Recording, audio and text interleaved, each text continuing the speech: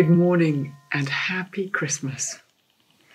As we gather for worship this morning to celebrate God is with us, Emmanuel, I'm going to invite you to repeat those words three times when I raise my hand. God is with us, Emmanuel. The Word has become flesh and dwelt among us. God is with us, Emmanuel. Unto us a child is born a son is given. God is with us, Emmanuel. His name shall be called the Prince of Peace. God is with us, Emmanuel. Well, as God is with us, across the Diocese of Guildford, as we gather in our different places, so we pray the collect for the first Sunday of Christmas the prayer that collects us together. Almighty God, who wonderfully created us in your own image and yet more wonderfully redeemed us through your Son, Jesus Christ our Lord. Grant that as he came to share our humanity, so we may share in the life of his divinity, who is alive and reigns with you, one God now and forever. Amen.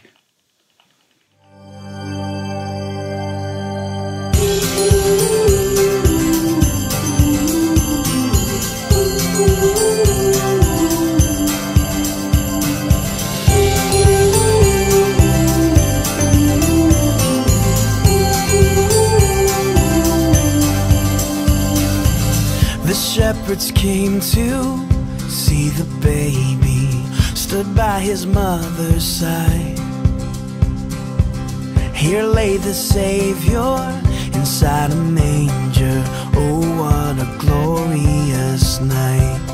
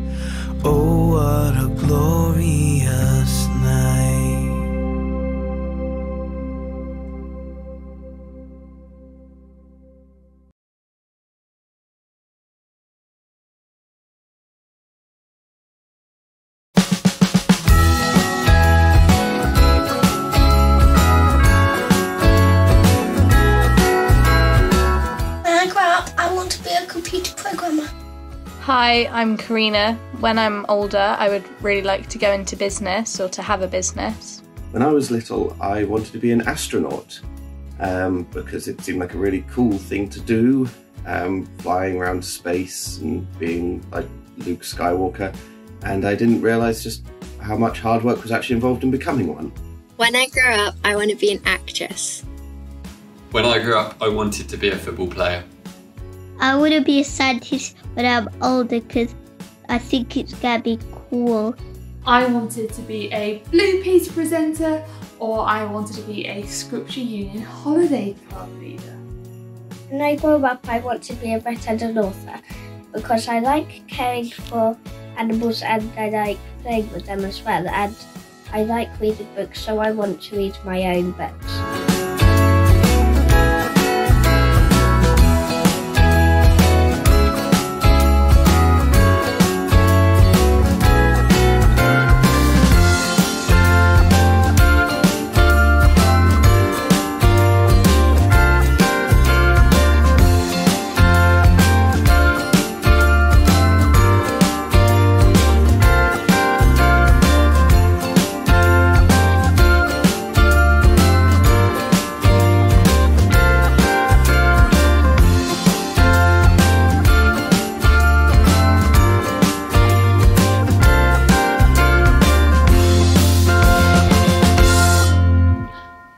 What you wanted to be when you grew up. When my son left primary school a few years ago, they gave them a yearbook. And in the yearbook, there was the memories and reflections of the children from their time at school, and also something about their hopes for the future. One of the questions they asked them is, What would you like to be when you grow up? There were lots of different answers a famous dancer, a pilot, a YouTuber. But one little girl said, I don't have a dream job. I just want to be a kind and loyal friend. I wonder what you want to be when you grow up. Hi, Verity. Hey! What are you doing? Oh, I'm playing a game. I'm learning about a, a, a boy called Samuel, and he's got his own book in the Bible. Wow, that's amazing. Can I play? Yeah. Great. There was once a woman called Hannah. Hi. Who could not have any children. this made Hannah very sad, as she wanted to have children of her own. One day Hannah was praying in the house of the Lord. She prayed for a child of her own and made a promise that if he gave her a child, to give him to the Lord for all the days of his life. A priest called Eli saw her and wondered if she was quite well. Are you okay? Yes, I am asking the Lord for a child of my own. Go in peace. Hannah went on to have a little baby boy, who she called Samuel. Hannah remembered her promise, and when Samuel was just old enough, she took him to Eli so that Samuel could grow up in the house of the Lord and serve God. Eli had sons, but they were like villains. Ah! They cheated people and did not follow God's words. I going to listen to God. I want this now. Ah! So what happened then? Maybe we should go back in time and find out. Definitely. In the meantime, the boy Samuel continued to serve the Lord, wearing a sacred linen apron. Each year, his mother would make a little robe and take it to him when she accompanied her husband to offer the yearly sacrifice. Then Eli would bless Elkanah and his wife and say to Elkanah, May the Lord give you other children by this woman to take the place of the one you dedicated to him.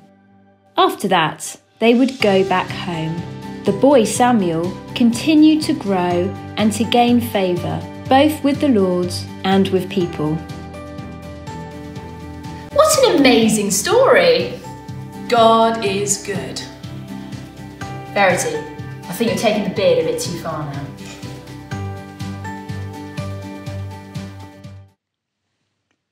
Every year, the parents of Jesus went to Jerusalem for the Passover festival.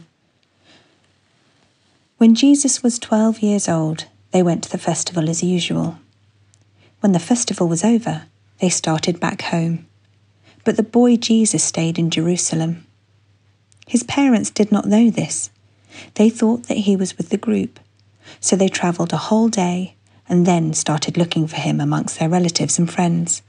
They did not find him, so they went back to Jerusalem looking for him. On the third day, they found him in the temple, sitting with the Jewish teachers, listening to them and asking questions. All who heard him were amazed at his intelligent answers. His parents were astonished when they saw him, and his mother said to him, Son, why have you done this to us? Your father and I have been terribly worried trying to find you. He answered them, Why did you have to look for me? Didn't you know I had to be in my father's house? But they did not understand his answer. So Jesus went back with them to Jerusalem, where he was obedient to them. His mother treasured all those things in her heart. Jesus grew both in body and in wisdom, gaining favour with God and people. Hello, happy Boxing Day, happy second day of Christmas. It does seem a little rushed, 24 hours after we've celebrated the birth of Jesus, to be talking about his growing up, but that's where we are today. When I had given birth, 24 hours old, I was not thinking about growing up. I was thinking about managing a baby and managing all the well wishers. But in our readings, did you hear the young Samuel, who is noted for growing both in stature and in favour with the Lord and with people? And so with Jesus, it says he grew in wisdom and stature and favour with God and people. Those descriptions say to me, let's not underestimate the young people in our midst for their insight, for their wisdom, for their impact I say that aware of the impact of some of our young preachers around the Diocese of Guildford, speaking and preaching even over Zoom and on YouTube during lockdown. Well done. Young people, for their perspective, their voice, their gifts, they can be particularly effective, can't they? We only have to think of Greta Thunberg to realise that or indeed my favourite young person at the moment. I'm voting for her in uh, Sports Personality of the Year, Emma Raducanu. Not just her tennis, but her her outlook. She's so refreshing, isn't she? And I say that ahead of December 19th. I say it as a prayer, I say it in faith, wishing that she will win. So let me here speak first to the older Samuels among us, those who are, I hope, young at heart, but who are the young people you know, you admire, whom you meet, whom you see, where you find wisdom and stature and favour? I wonder, would you write it down? Would you let them know? Will you nurture it? So their voice may be heard, their their scope expanded, their leadership their leadership have impact for transforming church, transforming lives. And to the young Samuels and Gretas and Emmas among us here today, hear the words of St. Paul to the young Timothy Don't let anyone look down on you because you are young. Rather, know your own capacity, know your own power to set an example, to be an influence to others in speech, in conduct, in love, in faith, in purity. Our world desperately needs some good examples, some inspiration. Our church also longs for it, Frankly, there are far too many grown up people around behaving badly. Please challenge us. But I know that takes courage. Courage if you're young to exercise your voice, to risk that you have a contribution to make, because you will feel exposed. You will need a multi generational community where it's safe to make mistakes, to take a risk. I hope that describes your church.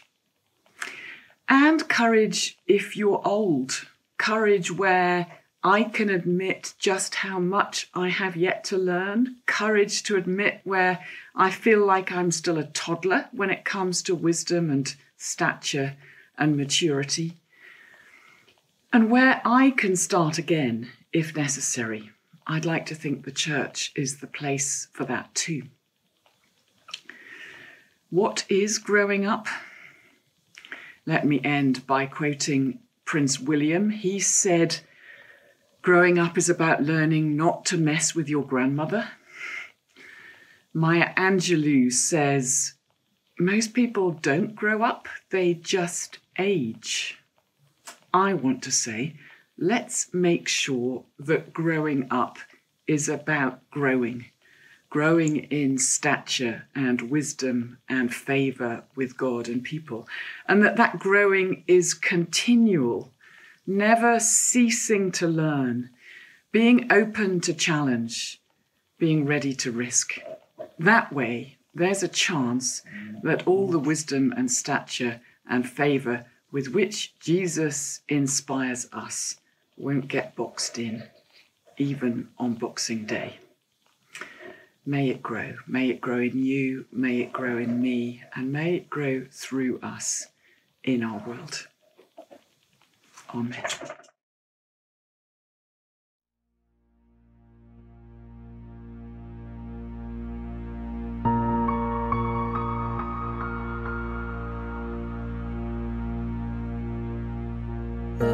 Incarnate, love divine.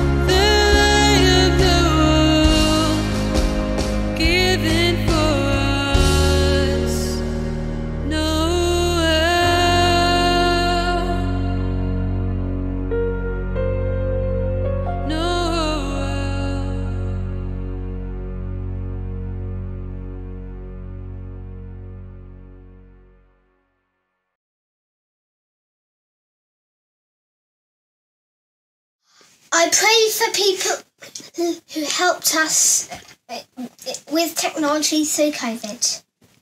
Lord, I pray that all companies in the world today will make changes to have more ethical work practices and that all workers for these companies will be treated well and that there will be less fast fashion companies and more fair trade companies. Amen.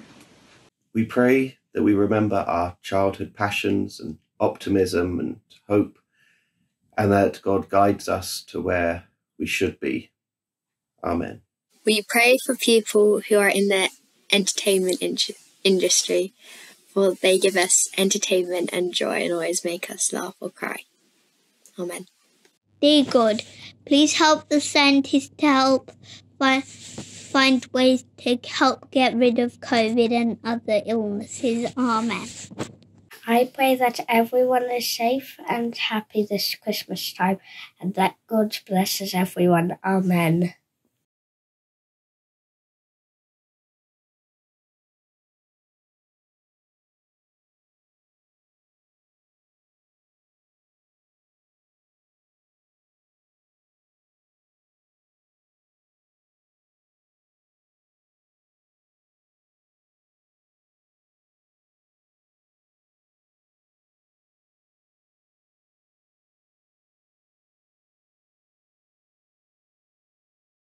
And Lord Jesus, we pray for all those in the football world and pray that they will be good influences on us. And we also pray for all of us that we can grow up in you, that we will grow in wisdom, in our understanding of who you are, in our stature as people who uh, look to you, and in favour with both you and those around us, that we might reveal you. In Jesus' name, Amen. And now we say together the Lord's Prayer. Let's pray. Our Father, who art in heaven, hallowed be thy name. Thy kingdom come, thy will be done, on earth as it is in heaven. Give us today our daily bread, and forgive us our sins as we forgive those who sin against us. Lead us not into temptation, but deliver us from evil. For the kingdom, the power, the glory are yours, now and forever. Amen.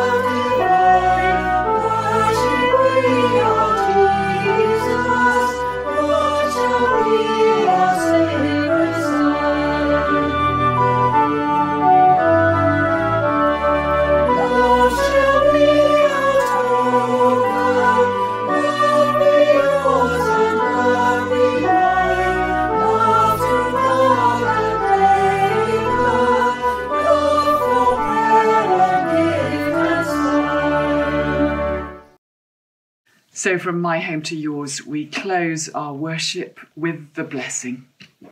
Christ, by his incarnation, gathered into one things earthly and things heavenly, fill you with peace and goodwill, and make you worthy to share in his divine nature.